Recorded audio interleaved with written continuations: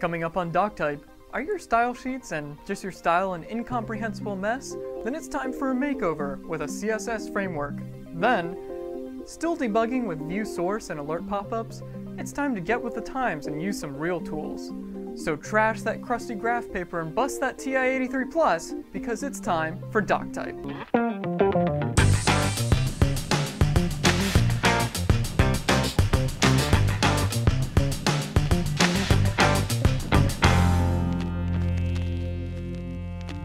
This episode of DocType is brought to you by Viewpoint and Less Everything. I'm Nick Pettit, And I'm Jim Hoskins. and you're watching DocType. Whether you're a designer that wants to learn a little bit of JavaScript or a developer that thinks everything they make looks like crap, DocType is here to show you the latest tips, tricks, and tools to help you take your next project to the next level. Mm-hmm. Welcome to episode 4. A New Hope? No, Doc Type episode 4. Oh, oh, I see what you're saying. So the other episodes of Doc Type were kind of just like prequels. Yeah, and you can't really count the prequels. So, like the prequels, perhaps your website has a little bit too much funky and not enough fresh. We'll take a look at three different CSS frameworks that can help you spruce things up. CSS frameworks provide the basic foundation for the styling of your website. Now, typically, CSS frameworks can include typography settings, grid frameworks, browser resets, and that kind of thing. Now, before you start building your website, it's a good idea to pick a CSS framework because it can be pretty tough to add one later. Up first is Blueprint. Blueprint is the framework that I've seen used most frequently. Now, Blueprint is basically just a set of CSS files with a couple of classes, actually a lot of classes, that you can use in your web page. Now, Blueprint is pretty cool because of its grid framework, and it's pretty easy to get into too. Let's check it out. Blueprint uses a 24 column layout by default, which is nice if you need tight granular control of your layouts. It also includes some nice styling for typography and forms. This is nice if you need more than just the reset and grid CSS to get started. If you're a bit more advanced and you've already mastered Blueprint, you should definitely check out Compass. Compass isn't so much a CSS framework as much as it is a plugin architecture for Sass, or the syntactically awesome stylesheet language. Here's what's cool about Compass. By using Sass, Compass, and Compass plugins, you can declutter your markup of all the classes a framework like Blueprint leaves behind. You can use any CSS framework you want, like Blueprint or the 960 grid system. A great one to check out here is Susy, which is an awesome grid plugin for Compass. Compass allows designers to share code more easily the way programmers do. This is a great way to get involved in the web design community. If you don't like the weight of all the other CSS frameworks out there, you should definitely check out the 1 kilobyte CSS grid.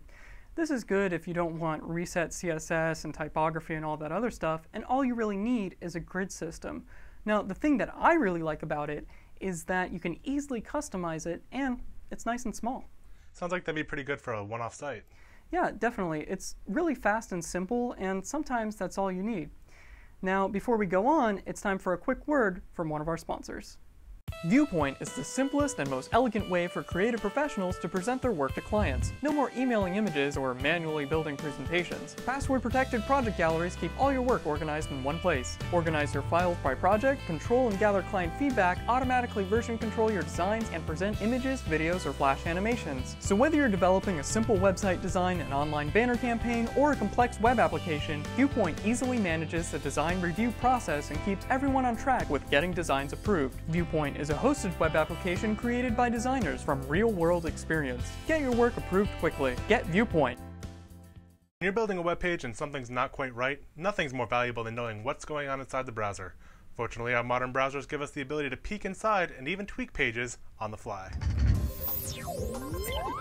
Today we'll be looking at three tools, most of which share functionality. We're going to be looking at Firebug for Firefox, the Web Inspector for Safari, and the developer tools for Internet Explorer 8. If you're developing on Chrome, they're called developers tools, but they're almost identical to Safari's Web Inspector. So, getting started. For Firebug, go to getfirebug.com and install the extension. Then click the little bug in the bottom right side of the screen to bring up the tools. For Safari, open the Preferences pane and under the Advanced tab, click Show Develop menu and Toolbar. Then click Develop, Show Web Inspector. In IE8, press F12 to bring up the developer tools. The first tab you'll usually see is the HTML or the Elements tab. This shows you the current structure of the page. It actually shows you the page as it is now, not as it was when you loaded the page initially. It'll show you all the changes you've made via JavaScript, and that's something that View Source just can't do. The HTML tree can be expanded, explored, and edited in place. When you select an element, the inspector to the right will show you the properties and the CSS styles, which is extremely helpful when you're designing a page. You can even edit the CSS right from the pane. Another neat trick is the item selector. It looks like a box in Firebug, a magnifying glass in Safari, and a pointer in IE. Simply click it and then click any item on the page and the HTML inspector will be opened to that particular element. The JavaScript console is another invaluable tab in these tools. The JavaScript console allows you to interact with the JavaScript environment on the page, allowing you to set variables, call functions, and inspect objects. Just type in any JavaScript code or any variable name at the line at the bottom, and it'll be run in the context of the page.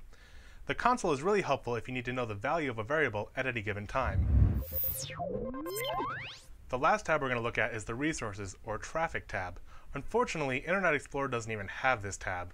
The Resources tab allows you to view all the resources that your page is loaded up, including images, style sheets, JavaScripts, and even AJAX calls. If you're not using these tools yet, you might want to start now. It could save you some headaches in the very near future. Do you want more out of life? Then what you really need is less. Less everything. Less everything are two cool guys that do great stuff like less projects, easily manage multiple projects, prioritize tasks, and assign tasks to people. Less accounting. The accounting app for small businesses to save you pain and suffering. Less time spent. Track your time and avoid billing mistakes. And of course, less conf. Jim and I went to less conf in 2009, and 2010 should be even better. To learn more, check them out at lesseverything.com. Well, that's it for this week's episode of DocType. Be sure to check out our Facebook fan page and follow at DocTypeTV on Twitter. Also, if you have a question you'd like answered on a future episode of DocType, send us an email at questions at doctype.tv. And if you'd like to subscribe, check us out on iTunes or add our RSS feed to your reader. So until next Tuesday, remember that every great web page starts with DocType.